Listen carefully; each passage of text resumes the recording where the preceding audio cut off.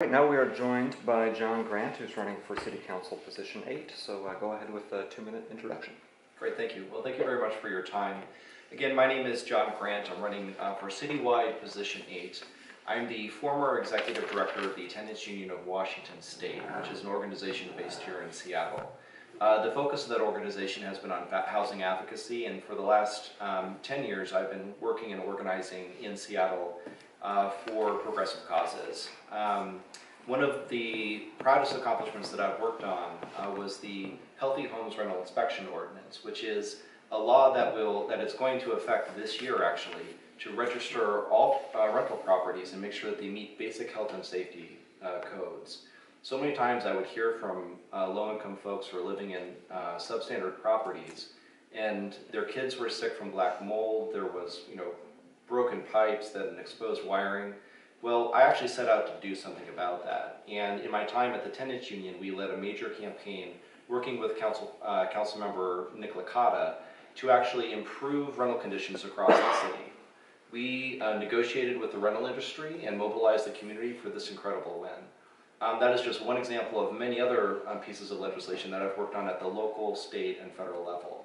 The reason that I am running for city council is that I think that we have this enormous opportunity to establish a progressive majority on the city council. And I think uh, with, with that opportunity, we can just do so much more. You know, we raise the minimum wage. Let's start doing something about, let's start doing something about the criminal justice system. Let's start doing something about um, pay equity. Let's, there's so much opportunity right now. And uh, with Councilmember Nick Licata stepping down, who's going to be that progressive voice on council? That's why I decided to run.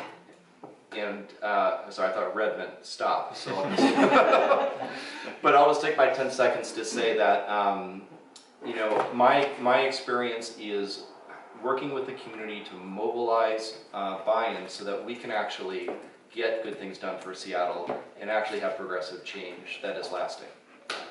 Great, thank you. Uh, so now we'll go to our uh, prepared questions. Um, these are two-minute answers, and you may turn over the sheet in front of you if you'd like to read along. Please leave it here when you leave, though. And Jon, will you start with the first question? I will.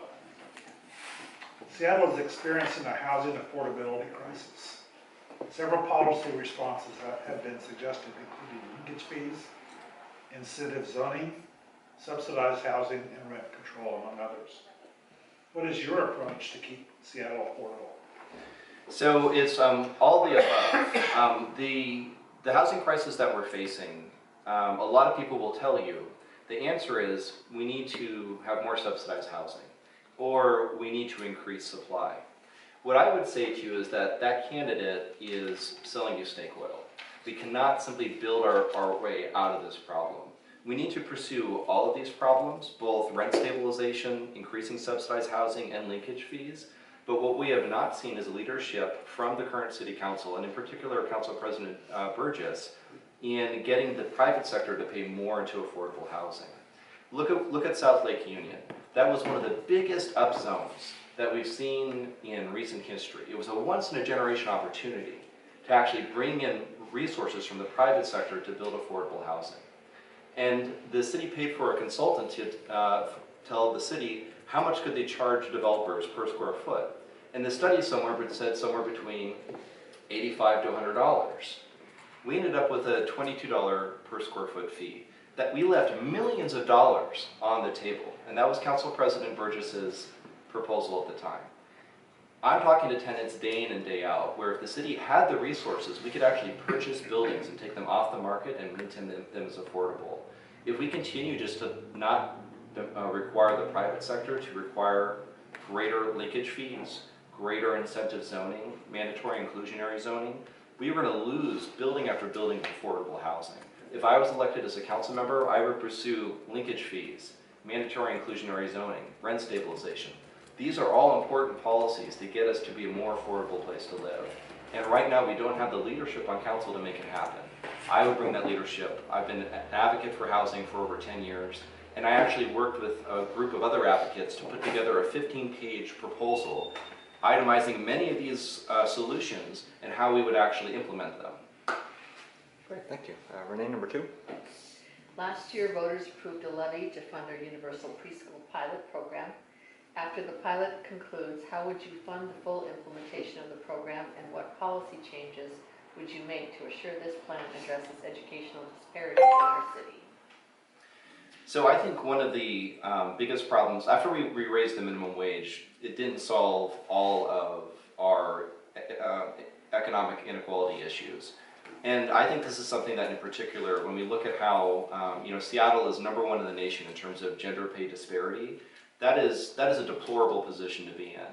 And I think that if we were to um, assess the uh, universal preschool pilot and make sure that it was working properly, that we should think about expanding it to truly make it universal. It's not truly universal, it only uh, subsidizes 2,000 students in our city. I think that if it does demonstrate that it's effective, that we should, that we should actually expand the proposal. And we shouldn't do it um, at the cost of workers, that we should make sure that uh, educators are also paid a living wage, which unfortunately was, um, you know, that, that was, we kind of lost an opportunity because those two initiatives were pitted against each other. Um, I would see, uh, I would want to see universal preschool increase so that uh, that is could be a fundamental tool to addressing gender, uh, the gender wage disparity that we're seeing in Seattle because it's an issue that predominantly affects uh, women. So I, I think I uh, would like to see it expanded, but actually expand so that it is actually universal and we are actually uh, addressing that, that gender wage gap as well. Great. David, number three. Can, can I? Oh, you can skip, sure. Yeah. Keep going to number three. Bertha is still stuck. What options does the city of Seattle have with respect to potential cost overruns, the waterfront transit, and an unsafe viaduct? So uh, the city did a study to determine whether or not the viaduct is actually going to be safe or not. I think that um, the city, you know, this it's a it's a state project, but the city has options on the table to make sure that public safety is being upheld. I am really concerned about the structural weaknesses that are being found in the buildings in the surrounding area and also in the viaduct itself. And if it got to the point that the viaduct could potentially collapse, and we had an assessment that told us that, I think we should look at having a municipal uh, decision to actually close down roads that lead onto the viaduct and do whatever we can locally to make sure that the public safety is being secured. Um, as far as alternatives, I think that if it gets to the point that just cannot be, um, you know, res- resurrected and actually, you know, complete the, the process, then we need to look at other options like the surface street solutions that uh, was being considered by, by voters prior to Bertha being kind of the uh, decision that was forced on, on the city. I think the tunnel um, was a mistake. I think that there were other options on the table that could have been uh, less expensive. Uh, but unfortunately, uh, we need new leadership to kind of get us out of this problem that, that was created uh, by the, the existing leadership.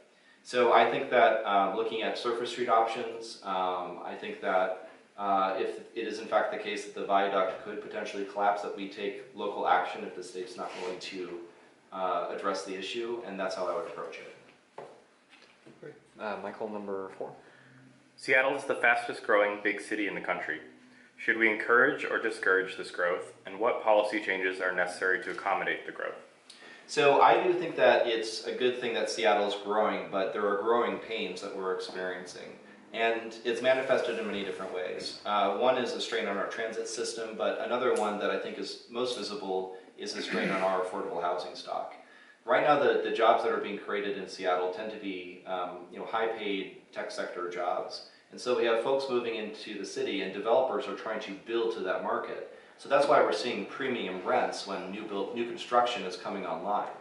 So the question is, what can we do to recapture the value of the land as the value increases when that development happens and then redirect it to folks at you know 0 to 30 to 30 to 60 of the area median income. That's like you know baristas, secretaries, teachers, folks in that in that kind of level. And um, right now that's not what we're seeing. If we just let the market just build, we're going to see high cost housing and that just doesn't work for working class people.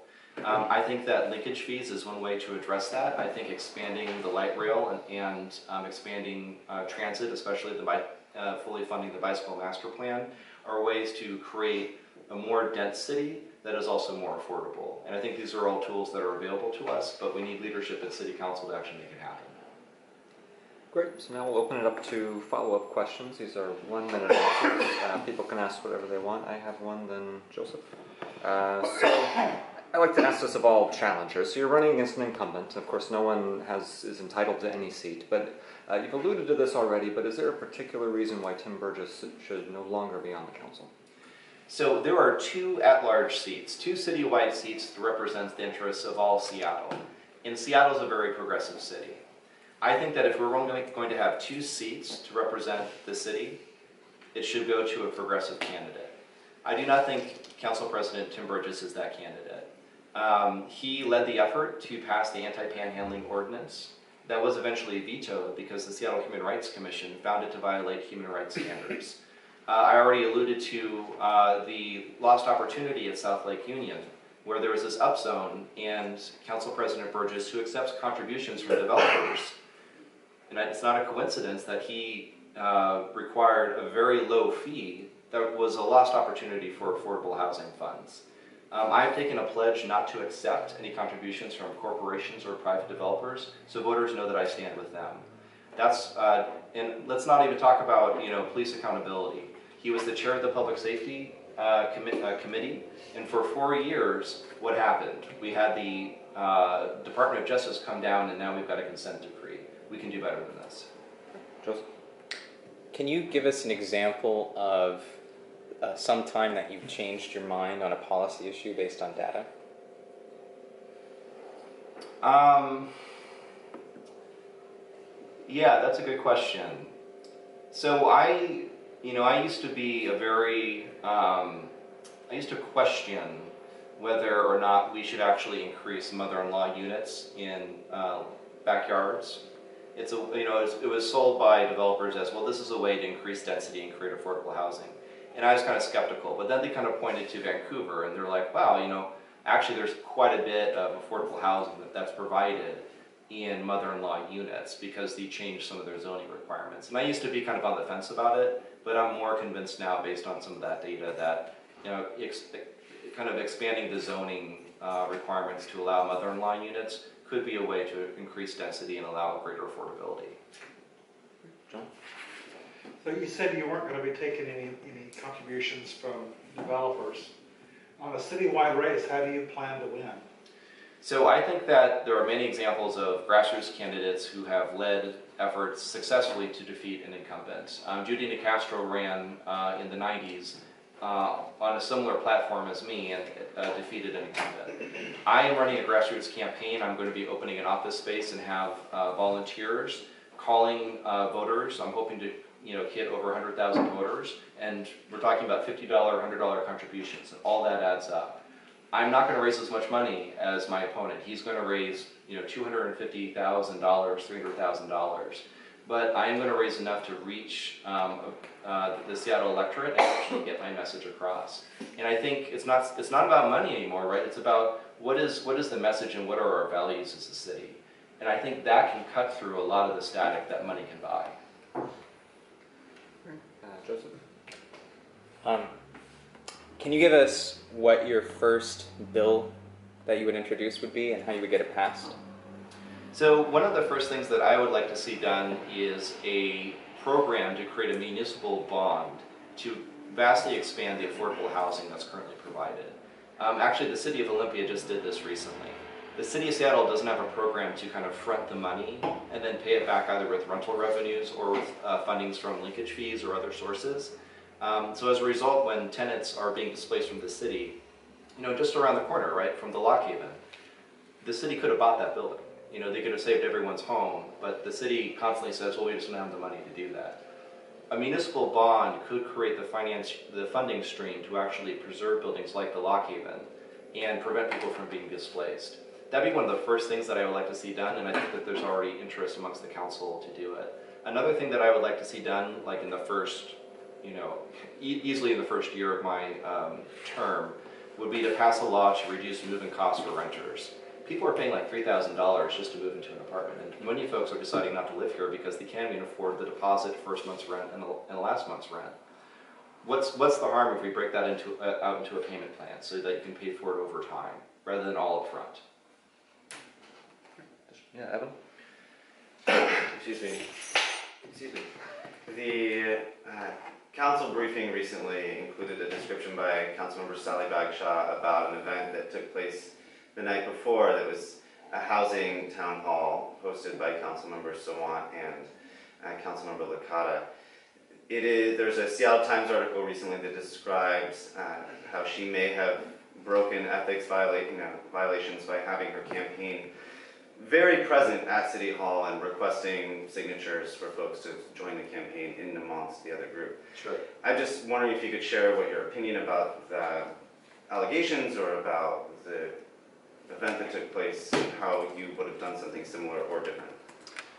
Well, I'm, I'm not currently a council member, so um, I actually was attending that rally and spoke at it. Um, I contacted the Seattle Ethics uh, and Elections Committee or Commission, and I asked them, is there a conflict for candidates to show up and actually have campaign materials and so on and so forth? And what I was told by them is that it's a First Amendment, it's a First Amendment issue. Uh, and as long as you follow the, the protocols set out by the uh, Sawant campaign, and so that everyone has equal access to actually present their materials, then that can be acceptable.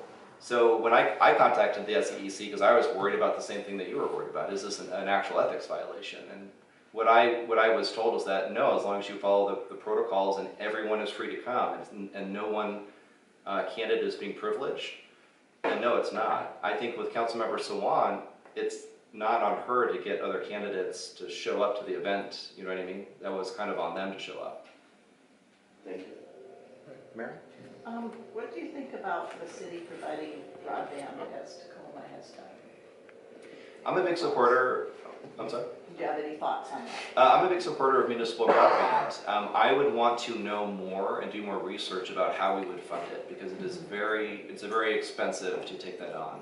And we're talking about renewing the Seattle housing levy next year. We're talking about the uh, mayor's, you know, nine hundred million dollar, uh, you know, move Seattle levy that we're talking about. And I would want to make sure that we're balancing all of our funding priorities and have that conversation as a community.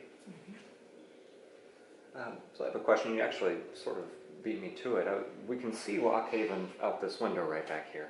Um, and I was wondering if you could just sort of talk about what has gone on there and what policies, you know, if you'd been in the council four years ago, eight years ago, what could you have done that would have made things better over there? Um, well, the Lock Haven, you know, so that was 100 units or over 100 units of working class uh, housing. You know, it was not subsidized, it was just affordable. Um, a developer, Goodman Real Estate, swooped in, bought it, and then doubled people's rents. Um, and actually, uh, you know, gave folks illegal eviction notices. Um, in my time at the tenants union, we thought that that was wrong. We worked and organized with the tenants and actually got those illegal eviction notices rescinded. Um, we were able to get tenants um, tens of thousands of dollars in relocation assistance. And we asked Goodman Real Estate uh, and John Goodman, the owner, who lives just down, you know, two miles from here, uh, can you at least set aside some units to be affordable? He wasn't willing to do that. What I would have done if I had been council member eight years ago is that I would have allocated resources so that we had an emergency fund, so that when buildings like this are being uh, bought and sold and folks are being economically evic- evicted, that the city would take it off the market, have the owner be compensated, but then maintain the rents as affordable. And I should note that John Goodman, who bought and displaced the folks in that building, makes political contributions to Tim Burgess. Time for about one more question, if anybody has one. Anybody? Yeah, Mike Joseph? So you already mentioned Councilmember Licata. Can you tell us which other council member you most respect on the council and why? I really respect uh, Mike O'Brien. I've worked with him uh, for a number of years now and worked on land use issues, tenants' rights issues. Um, I think he's very thoughtful. I think that he's a strong progressive. Uh, and I think that, you know, part of the reason that I'm running is that he needs support. You know, I can't just be, uh, you know, the three progressives on council. We need to get to a progressive majority and have five, five votes if we're going to actually move progressive policy. Great, so we're about out of time. If you want to take 30 seconds for a closing statement. So a lot of folks have asked me, you know, why did you decide to run run against him? And you know, I, I think that it's important for folks to know that you know I liked him. You know, he's a nice guy. And what I would say to folks is, you know, and what I hear from people is, you know, I, I respect him, but I often disagree with him. What I would say to you is that for your council member, wouldn't it be nice to both respect him and also agree with him? I'm running as a progressive Democrat. I'm running on uh, affordable housing, on police accountability, on campaign finance reform. I'm going to be having a grassroots campaign that is going to go uh, throughout the city to, to build support, and I'm asking for your support as well. I think we can do a lot together, and I ask for your, your vote. Thank you. Thank you very much.